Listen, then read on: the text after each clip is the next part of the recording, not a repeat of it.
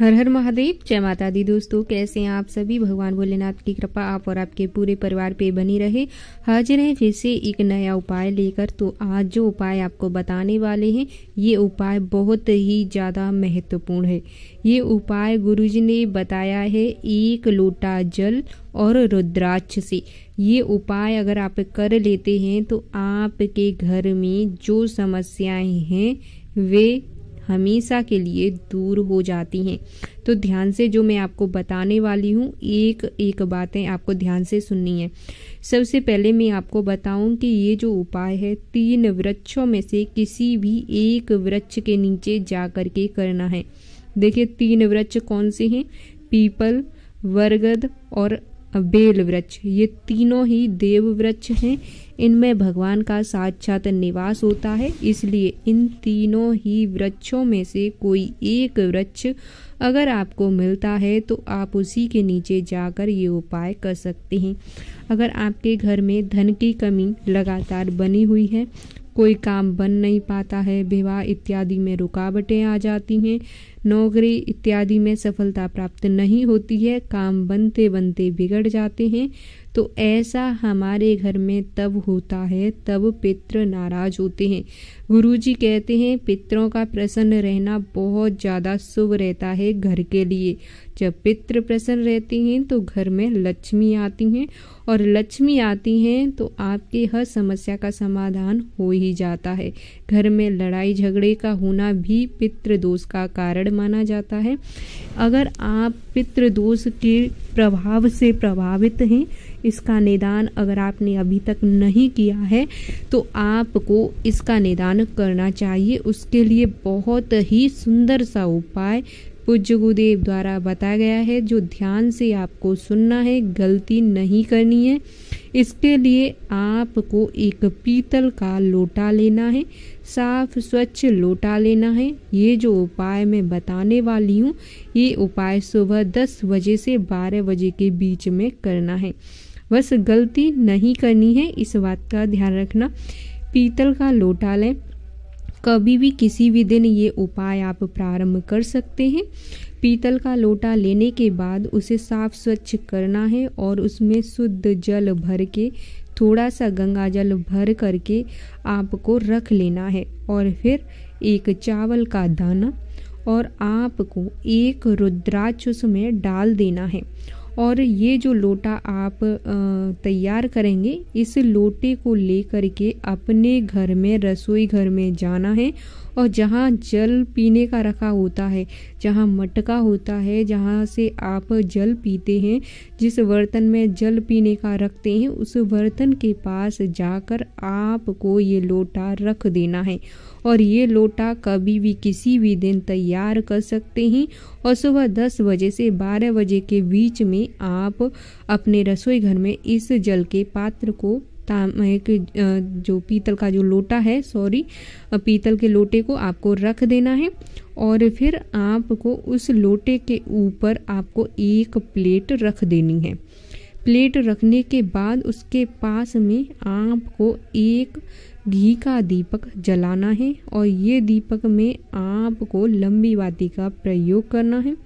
लोटे के ऊपर जो भी ये उपाय कर रहा है, वह व्यक्ति अपना सीधा हाथ रखकर घर में होने वाली जो भी समस्याएँ हैं, उन सभी समस्याओं का एक एक करके स्मरण करें और पितरों का नाम लें, अपना नाम और गोत्र बोलें और फिर आपको उस लोटे के ऊपर ही हाथ रखकर बोलना है कि मैं इस गोत्र से हूँ, मेरा नाम यह है और मेरे पितृगण, आप सभी से निवेदन है कि मेरे घर में शादी विवाह नहीं हो पा रहे हैं, रुकावटें आ रही हैं तो ये काम संपन्न हो, मंगल कार्य हो, नौकरी इत्यादि में बच्चे सफल हों और घर में तरक्की हो, लक्ष्मी नहीं आ रही है, लक्ष्मी आए और आप हमेशा प्रसन्न मुद्रा में मेरे घर में विराजमान रहें।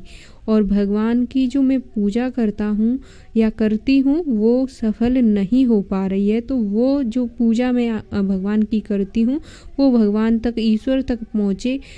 ऐसा मेरे घर में कुछ करें जिससे मेरे हर कार्य बनते ही चले जाएँ। ऐसे आपको अपने मन में जो भी इच्छाएँ, बहुत सारी बातें होती हैं तो उन सब चीज़ों को जो भी आप चाहते हैं, उन सभी को ऐसे बोल करके आपको उस लोटे के ऊपर से अपना हाथ हटा लेना है और उस लोटे को वहीं पर रखे रहने देना है।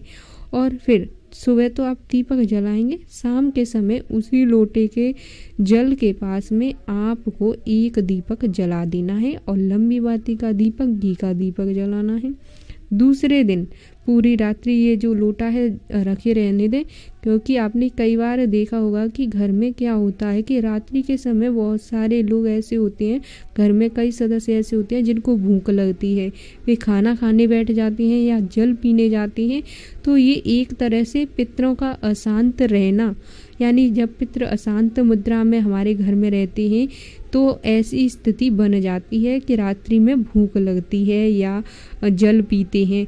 तो आप इसी के लिए उपाय करेंगे। तो जैसे मैंने आपको बताया कि जो लोटा है वो पूरी रात्रि आपको वहीं रखे रहने देना है। दूसरे दिन सुबह दस और ग्यारह बजे से लेकर बारह बजे के बीच में आपको फिर से यही क्रिया करनी है। मतलब उस लोटे के ऊपर हाथ रखकर फिर से वही सारी बातें बोलनी है। जो भी आपकी परेशानियाँ हैं वो सब बोलनी है। और फिर आपको वहाँ पर एक घी का दीपक जला देना है। और जैसे ही आप दीपक जलाएँगे और अपना हाथ रखकर सारी बातें बोलेंगे तो आप वहाँ से हट जाएँगे।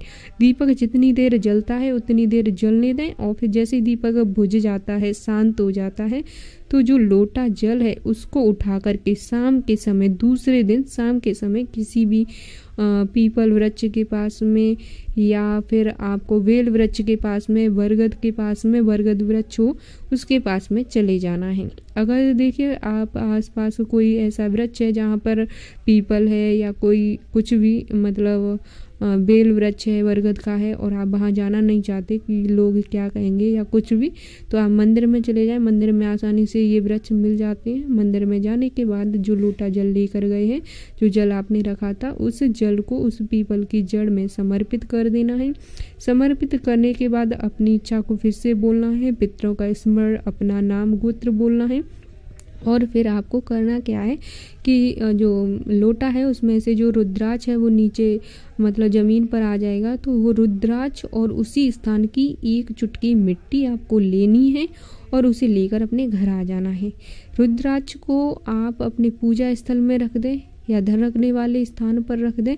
मतलब सुरक्षित आपको रख देना। आप चाहे लाल वस्त्र में बाँध कर भी घर के जो पूजा मंदिर है, वहाँ पर लटका सकते हैं, रख सकते हैं और जो मिट्टी है, उसको भी आपको रख देना है। ये क्रिया एक बार कभी भी किसी भी समय कर सकते हैं। ये नहीं कि कोई चतुर्थी हो या पंचमी हो, कुछ भी कभी भी कर सकते हैं। वैसे अमावस्या के दिन जो ये क्रिया होती है तो ज़्यादा उत्तम रहती है। पर आप ज़्यादा परेशान हैं तो कभी भी कर सकते हैं। साल में सिर्फ़ एक बार करना होता है और ये जो क्रिया होती है सिर्फ़ एक साल के लिए मान्य होती है। दूसरे साल आपको फिर से यही क्रिया करनी होती है। एक साल तक आपके जो पितृगण हैं वो आपके घर में अशांत नहीं रहेंगे और आपके जो बिगड़े कार्य हैं वो पुनः बनने प्रारंभ हो जाएँगे, पितृ शांत हो जाएँगे, प्रसन्न होंगे और आपके हर कार्य में आपका सहयोग करेंगे। बस इतना कार्य आपको करना है। उम्मीद है कि उपाय बहुत अच्छे से आप लोगों को समझ आ गया होगा, वीडियो पसंद आए तो वीडियो को अन्य लोगों के साथ शेयर अवश्य कर देना। बहुत मेहनत के बाद आप सभी के लिए ये उपाय तैयार किए जाते हैं। तो आप इस वीडियो का लाभ लेने के साथ साथ अन्य लोगों को भी इसका लाभ अवश्य दिलाएँ। वीडियो को शेयर करके चैनल पर नए हैं तो चैनल को सब्सक्राइब ज़रूर कर लें और कमेंट बॉक्स में ओम नमः शिवाय अवश्य लिख दें। कोई भी ऐसी समस्या हो जिसका समाधान चाहिए तो आप कमेंट के माध्यम से बता सकते हैं। मिलते हैं आपसे नेक्स्ट वीडियो में। ओम नमः शिवाय। हरिओम दोस्तों।